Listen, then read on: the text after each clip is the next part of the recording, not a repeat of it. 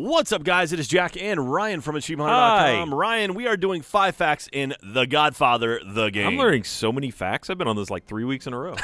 well, it's it's good. We're teaching you things while you work, Ryan. That's that's your that's your Christmas miracle.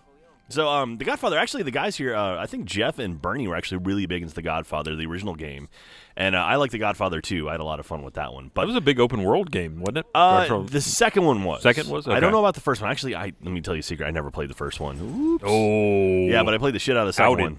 Um, all right, so let's get it right into it. How about that? This is a EA Redwood Shores one. This is like right out of their, their mothership down there in San Francisco. All right. All right, number one, Godfather trilogy director Francis Ford Coppola was very upset with Paramount's decision to allow EA to make a game based on his movies. He claimed that was not informed of the game being made at any stage of production, and he has stated that he believes the game is a quote misuse of the film. Do you think you really didn't know, or you just got a memo that was like, "Hey, they're making a the you know one of them uh, you know video game things"? I'm right? sure. I'm Yeah. sure attached to the check, he was like, "What's this one for?" And he's like, "Oh, they made a video game. They did what?" And it's like, "All right, throw it on the pile." Um, number two, although several of the original actors lend their voices and likenesses to the game, Al Pacino is absent in both aspects. Can't see him doing it, really. Yeah. this is because he chose to lend his likeness to Scarface: The World Is Yours, a game that was also released in 2006. So he, I guess he's not. Yeah, Can't have competing likenesses. I guess not. Man, that's that's kind of funny. Two of they two Al Pacino you, they don't want you to play that game like, "Hey, that's the guy from Scarface." Uh, number three, Marlon Brando originally did the voice acting for his character in the game. However, many of the recordings were unusable due to his poor health. This caused EA to hire an Im- imitator to voice the character. Bonus fact there was one Brando recording left in the game, though, when Don Corleone is in the hospital after being shot. So that's kind of funny. wow, Mar- Marlon way to make Brando, use of the situation. Marlon Brando starred in a video game. That's that's crazy. Or at least one, one line of dialogue was in a video game. Man, that's a high Marlon quality Brando actor. is sick guy in bed.